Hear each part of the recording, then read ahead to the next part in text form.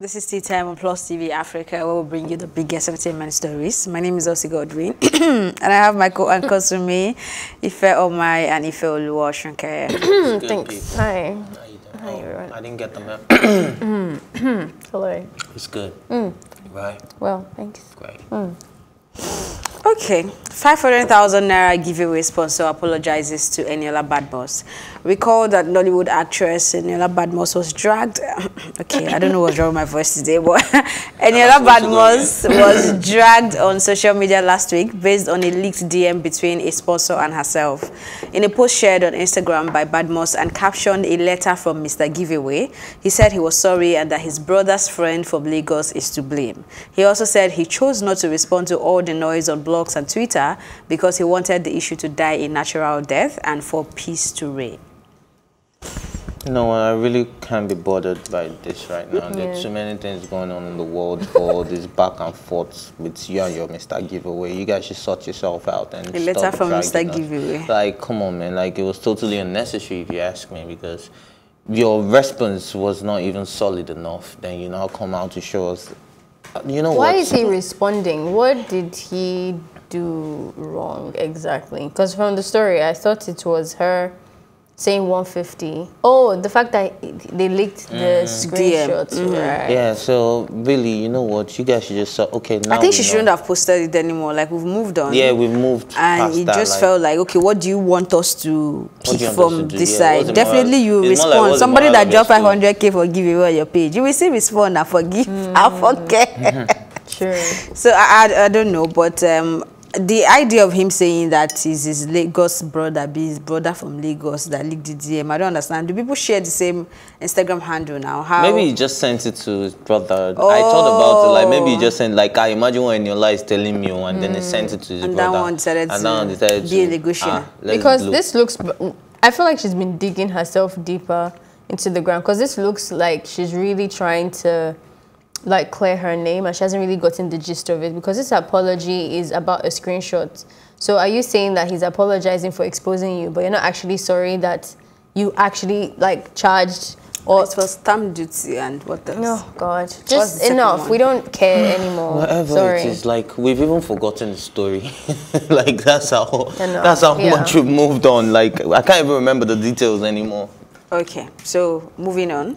No one owes you anything, and it definitely cannot be business as usual when we come out of the pandemic. Isn't it time we look at developing our own cure and um, ways to ease ourselves out of the situation? And this is coming from Nollywood actress um, Kate Henshaw. In as much as this is a good advice, but I don't know when people will wake up and smell the coffee and face their reality and face the reality of the country in which we live in, where we have um, political science graduates working as bankers, when we have um, people who studied accounting working as engineers, when we have people who, who studied engineering working as TV presenters, when we have lawyers working as, in, um, okay. We have accountants working as engineers. Yeah, the day, of course. What's impossible out here? No, it's actually possible. They're just I very crappy impossible? engineers. And maybe not like frontline engineers where they're touching things, but they're in the engineering industry. It's about most times now. It's about having the technical know-how. It's not about your certificate anymore. If I, I know how, if I know a bit about engineering, and you need me in a space where, of course, I'll apply. yeah, but I'm even, even just but finish then your you're thoughts. justifying yeah, the situation yeah right now. finish your thoughts. What are you? What? Yeah, before, sorry about that. So, um, like I was saying, we need to face the reality that, okay, this is a country that nothing really works. So it's a good advice. I think it should be done. But what are we, what are the measures put in place? We don't even have a proper healthcare system. Do we even have good laboratories if we say we want to come up with a vaccine right now, I don't now? even think there's a budget for that. Do you understand? Like, do we have the Because budget? Like, I think we developing need research to. and bud- um, and vaccine creation has a mass. It's not even health budget. It's a separate budget on its own. And, I don't and think then that's another that, you know. scamming scheme on its own. By the time we say we want to start vaccine right now, come on, man. You know how much Okay, um, I, I, I into that. understand that Nigeria has, you know, it, we have a failed government. I like um, what that guy Dineo tweeted. I'm not saying his name well. Maye Dine- Dineo, whatever. Me no the lie. Yeah, that guy. Dino Dino Milai. Melai. I said me no Melai. Oh my God, Dino is going to sue both of you. Like, Dino come on, that's Mel- no delight. I, I like his tweet when he was talking about how if anyone has ever ruled the government, um, the country or ruled it, then That the you know, God of the poor. yeah, and that they failed us. So yeah, I have to I, admit and accept that. He's Um, not one of the people who failed us, by the way. he, that's what he's saying. He's saying him and everyone else before and after, during. Um, I, I understand that, that that they failed us and stuff, but um, I don't really. The tweet doesn't really sit well with me because I don't think the government can do everything. Um, Even abroad, like all the other countries that I've been following that have vaccines or whatever, Like it's not government um, initiatives. Even in America, the people that are really focus on the viruses are all university um, bodies, private owned and everything. There's only so much that your government can do for you. Um, and we just have to get together and do it ourselves. I think Lagos is a very good example of that. If not for Lagos, I think in this period has, it has taught me that we're actually, I, I remember you using a word that we're not even underdeveloped, we're not started developing. And I think Lagos is the only thing that makes, makes me say that we're developed. If you take that state out, we're quite backward. Um, but Lagos is another place that has proven to me that with private um, investment and doing it yourselves, you can get something done. And I don't think that's going to be different for the vaccine. The government can't do everything. The government isn't built to do everything for us. So if there's an institution of people, and yes, there are laboratories that are really good. Um, I remember when this old governor died, and when he was running for governor, whatever, and he wanted to do an autopsy and everything. It was the same noise, but there's actually individuals, private individuals that came up together and gave us that standard stuff because we're close to that family. So I w- was quite in, involved in, not involved, but I was exposed to, to um. I was exposed to things that, that, that there is um, bodies and institutions and laboratories and all that type of stuff in Nigeria that exists. It's not just government owned. So to say that we don't have that, it's actually like incorrect. Even if we want private, I mean, I understand the government cannot do everything. It's not even possible for everybody to sit down. Anything that is working right now has a high chance of, um, say, 70% of um, private sector involved, and they have large stake, and they're making sure it is working, and that's the way we can move forward. However, the regulations around giving private sectors the opportunity to do what they need to do is also a problem. So if we wake up tomorrow, and also our own acceptance. So if we wake up tomorrow and somebody comes out to tell us, I have, I have a cure to coronavirus, we, in fact, we all will probably laugh at him. Like, I better go and sit down. We don't even believe in ourselves. Which one of the, uh, the problems um, we have, we would just laugh over it and feel like, um, what's that? Because let's take away the big grammar vaccine away from this thing what we need is a cure. So whether it's coming from herbs or it's coming from roots or it's coming from whatever you want to cut it, call it, it is a cure. So let's forget about being in a lab and having the kind of Bill Gates and Elon Musk money to have like that kind of laboratory and be picking things with um, whatever it is called. That is not the point. The point is being able to say, okay, so I put this and put this and put this together and if you try it out, it's going to. So it's not as huge as the word vaccine people makes make it look like. It's about being able to find a cure. Remember the person who came out to say he had a cure for HIV? Dr. Sebi. And how Dr. it Sebi? was in America or Nigeria? in Nigeria actually. okay. We, we we did not give him um, the audience that I think he deserved, but the interesting part is that a foreign platform actually reached out to him and they had conversations. The the, the, the outcome of that conversation, um, I didn't follow up. I don't know how it, it went, It's deeper but at least there, there there was an acknowledgement to know that this person is doing something. So if someone comes out today to say, I have done this, I have, we don't even have enough specimen to go around to say, oh, I've gone to NCDC to say I'm getting this to, I, mean, I, I, I want to believe that people are doing it. But I, think, think what so I'm just too. trying to say is when it finally happens, may we try to Give it embrace chance. it as well and give it a chance because if um, I, I was listening to a track up on the news um, this morning of um, Donald Trump saying that um, he doesn't care about where the cure comes from. It's not about your country being the first, America being the first, or Italy being the first. That he just wants a vaccine. So at this stage, it's a case of accepting wherever this cure is going to come All right, so the reason and, why I you know, called out different professions and people not practicing is the fact that we have people who studied microbiology and they're probably the ones to come up with this vaccine or something health related. But how many of them actually studied to learn the the job? There's quite a few. Rem- remember that Nigeria was one of the first countries to figure out the, I've forgotten the science word for it, of coronavirus. genome, something like that, yeah. Remember that. Like, we're not that, mu- we're not that failed. We, I think we have a larger proportion of people or people in, in the country that have disappointed us and are not doing anything, but there's still a little that. And that we also feel do not pay attention to those, Those who are- that are doing Yeah. the job. We have Yeah, it. we have it. I won't be True. surprised if something happens. then, even um, in Ghana, because I think um, Kate Henshaw was not just talking about Nigeria. I think she was actually talking about Africa Yeah. as a continent. So even in Ghana, something is happening already. And it was this Senegal. They're actually doing something as well. They even have their own Testing Senegal is one kits. that testing testing really and their own um, made. And then the Madagascar um, thing, they haven't recorded ventilators. any debt so far. Hmm. So I think it's kind of working, and different countries are beginning to buy their herbs from Madagascar. So let's see how it goes. If. So it's if it's an herbal treatment, by all means. Yeah. All right. It's time for a quick break. But when we return, we have more to discuss.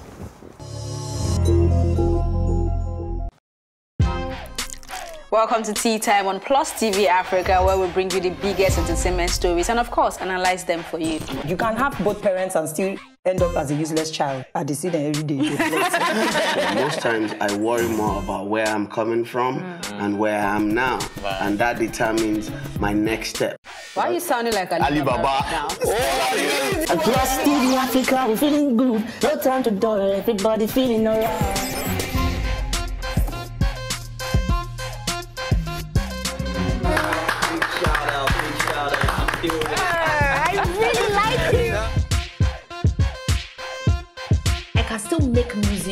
And people are still buying. Sometimes I look myself minimal eye. oh. Hmm. Akpala music is for mature minded people. I got DMs sometimes from Malawi, like,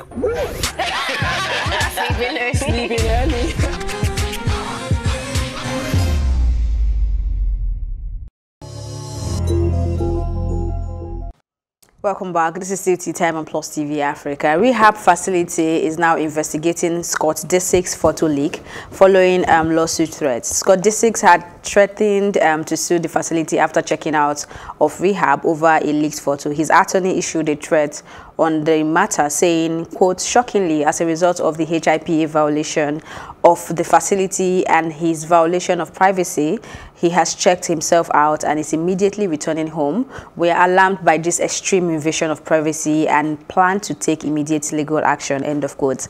In a statement released to E-News, CEO of the facility said the protection of our clients and personal and confidential information is of the utmost importance to us. It is APN's strict policy to not publicly disclose patient-specific information, including whether or not a particular client is or was being treated at our facility or has inquired about our services, end of quote. So how did this happen? Mm-hmm. Probably a staff, starstruck, It's took a picture. not that complicated. You had a video call with a limited amount of people. Somebody there did it. It's not like rocket science, except they said somebody tapped into it. And even if they tapped into it, how did they know? And when did they know that No, I there was think going to they're be even scheduled suspecting meeting? their staff member. Of course. Yeah, so. It's me. course. like, no, no, you know, because I don't think the option of tapping into it is, is even there because it's obviously from the hospital or from the rehab itself. So, yeah, it's from the rehab. It's Hmm? what do you mean? Like, yeah, of course. Who it's somebody- licked it. Yeah, so that's what I'm saying. There's no option of you wouldn't say, okay, an hacker tapped into the system and got the video. But it's actually a ridiculous situation because this is something I, I feel like anybody working in that kind of facility should understand the rules and regulation of working in that facility and doing this doesn't make sense. Right now you've you're making someone feel unsafe where they're supposed to actually feel safe to discuss their um, whatever mental health issue um, they are there for and he had And this to could check even out. lead so to a trigger. do you understand how how how do we ensure his faith in now going to another facility and not um, being exposed to That this person kind is of very things? irresponsible. Except you have like a serious crush over him. Like I don't even feel like Scott is like worth all that drama. Like let's say Ah. I don't know. I'm sorry, but like calm down because now it's not just about you. It's about the company. It's about like the future of that place. For Scott Disick, like an ex of the Go Kardashian. Like I'm sorry. Why you that- What's the big deal in It's this Scott. person? Oh Please, God she needs his picture on the screen. like probably and then stupid person to also now it's gonna leak it like it just it doesn't the, the risk of it is just too massive if it was beyonce or someone but there's like levels to these things it was, it's not like this person it wasn't not last last month sorry to diss him um it was not last month no, when they had that See, vote look at thing. Him. It's not, look it's at not, it's not about beauty not- now. It's not about beauty, It's it's about- about the person now. It's also Let's about just face it status because it's oh, it was only status. That's the only reason why they leaked something like this. Now it's not the first um, client that they're having in the whole company, is it? Have you ever heard of anything else? That struck like. But there's I a big started deal with- about Scott, actually. I'm sorry, It's not- where? You're probably not seeing it. because it's even deal, even and what's it called the he's- Vogue the Vogue thing that um, um, Lady Gaga did that she took out four outfits whatever it wasn't that when we were talking about the fact that she wasn't they weren't invited in the in, in the what's it called the Kardashian family Kourtney and Khloé were not invited including Scott. So he's not even like when you're talking about levels to celebrities he's not even one of them. I don't know it's It's just the risk yes. So for Ah. me the risk is like why why why not take it for Jay Z or something then we would Jay Z doesn't have. would it. Anyway, whether it's Jay Z or Beyonce or It's Scott, wrong. it is absolutely wrong. And when you're working in an environment, I think it is important to play by the rules of um, the sector you're working in. So, Of yeah, course. that's what I feel. So, moving on, Gabrielle Union feels odd and weird getting applauded for accepting daughter's gender transition. Speaking on Ellen DeGeneres' show, she said, quote, to us, it's a little odd to get any kind of recognition for doing what you are supposed to do, which is love and accept and embrace your kids. Unfortunately, there are so many people who just don't. There are so many people who truly feel um, like their kids are disposable, and if they are not perfect images of them, they are not interested. It is heartbreaking. End of quote. I think um, she deserves an applaud for this one because a lot of people tend to. I can I can't remember the story we're talking about now about yeah it was Mike for saying that he was married and then he behaved himself. Were you the one that was of the opinion that he mm. did what he was supposed to do as a married man? So mm. why the boss oh, Big that he didn't Mike. cheat? Mm. That wa- why the boss that he didn't cheat in the house? You get so I'll put this some this is something similar to that. You should love your ah. child. It's a natural.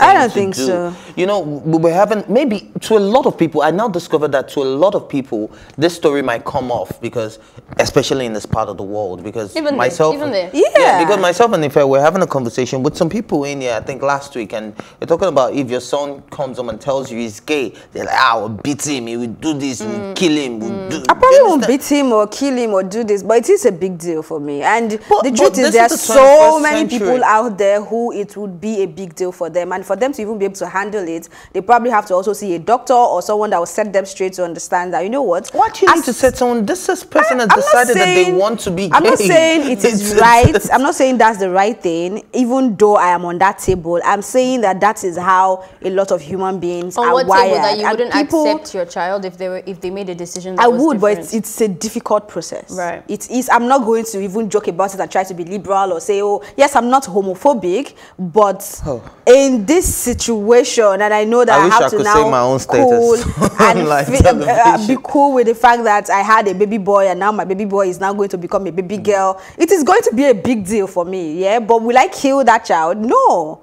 But it is a big deal. So if people are applauding you, understand that they are looking at it and thinking, "Hey, this God, let it not be me." It is. It is a big deal, actually. You can't even. I don't know. Um, I don't know. well, I think the world has moved past that stage of Some it parts of is the a world big do. deal. Like, if I, I don't think so. I think in the LGBTQ community, the transgender people are one of the people that are hit the hardest. Um, it's something that people are really worried about, and it's a very tricky situation. So um, I, I can't say that it's the same. There's something very tricky about um, dealing with um, transgender issues at a young age with a child. There's a lot of backlash to that because we're not sure whether or not the child is actually ready and all that type of stuff. But what I would applaud them for isn't just accepting the um, thingy, but really guiding her through it because she's not necessarily taking any things yet, at least not that they've told us about. So I think there's a lot of factors into it. I like that you mentioned a doctor and psychologist and all that type of stuff to make sure that she is guided the best. There's a lot of cases of people coming out to say that they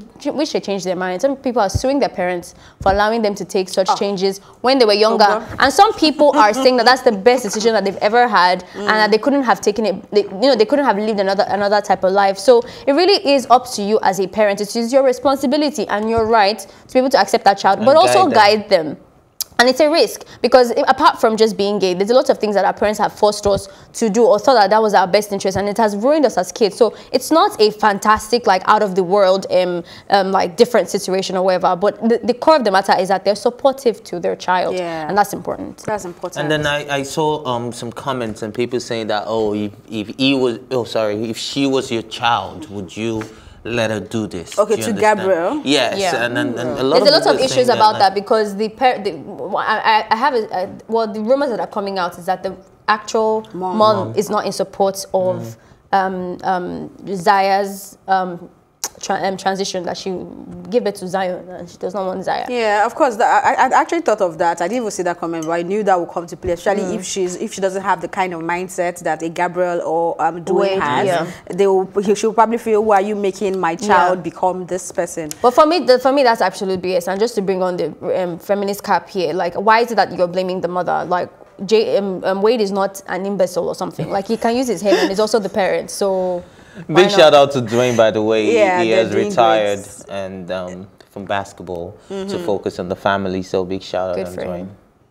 Okay, and that's how we wrap up this episode of Tea Time. Thank you for watching and join the conversation on social media with the hashtag Tea Time or Twitter to us at Plus TV Africa. My thank you as always to go to my co-anchors Ifeoluwa Osunkeye and Ife Omai and the entire production team. Thank you for watching Plus TV Africa's Tea Time. My name is Elsie Godwin. Do stay safe.